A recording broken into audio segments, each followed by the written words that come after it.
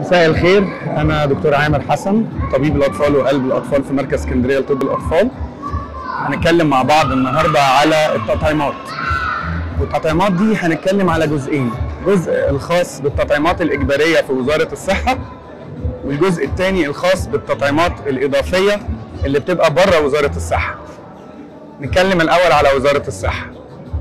البيبي لما بيتولد بياخد مجموعة معينة من التطعيمات الهدف منها إنها تديله مناعة قصاد أمراض عشان الأمراض دي لما بتجيله بيبقى الضرر منها جامد جدا على البيبي قد يؤدي للوفاة.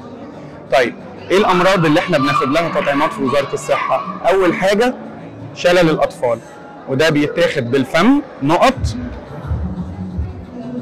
عند عمر يوم عند عمر شهرين وأربعة وستة وتسعة و12 و18 وده تقريبا أكتر تطعيم بناخده.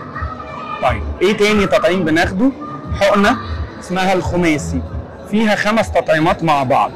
الكبدي الوبائي ب والإنفلونزا البكتيري والدفتيريا والتيتانوس والسعال الديكي اللي هو البرتاسس دي بناخدها عند شهرين وأربعة وستة.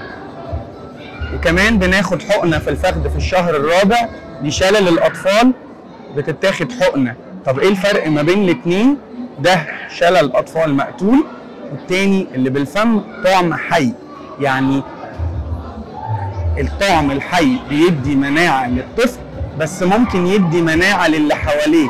ولازم نخلي بالنا وإحنا بندي التطعيمات دي إنه الطعوم الحية زي شلل الاطفال ما يكونش حد عندي في البيت بياخد علاج كيماوي أو بياخد علاج كورتيزون لفترة طويلة تضعف مناعة الطفل.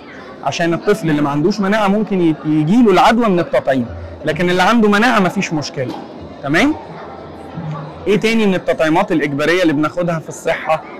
قلنا ال DPT اللي هو الثلاثي البكتيري له جرعة منشطة عند سنة ونص.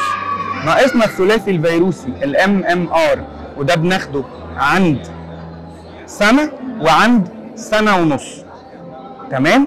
دي التطعيمات اللي بناخدها في وزارة الصحة. خلصت كده؟ لا ما خلصتش. لما أولادنا بيكبروا وبيدخلوا الـ KG وبيدخلوا المدارس في تطعيمين كمان بناخدهم. التطعيم الأولاني تطعيم المك... تطعيم ميكروب الحمى الشوكية اللي هو الالتهاب السحائي ده بيتاخد تطعيم ثنائي غير مقترن تمام؟ وهنقول يعني إيه مقترن أو غير مقترن دي بس قدام شوية. تطعيم ثنائي غير مقترن بيتاخد في أول كل مرحلة دراسية يعني أولى حضانة أولى ابتدائي أولى إعدادي أولى ثانوي. تمام؟ وفي تطعيم تاني بيتاخد جرعة منشطة اسمه الـ DT بيتاخد ما بين أربع لست سنين. ما أعرفش بالظبط هو بيتاخد إمتى في سنة كام في الصحة يعني. لكن ده العمر اللي إحنا بناخده فيه. دي كده التطعيمات اللي بناخدها في الصحه من أول ما نتولد لغاية ثانوي. أشوفكم في الجزء الثاني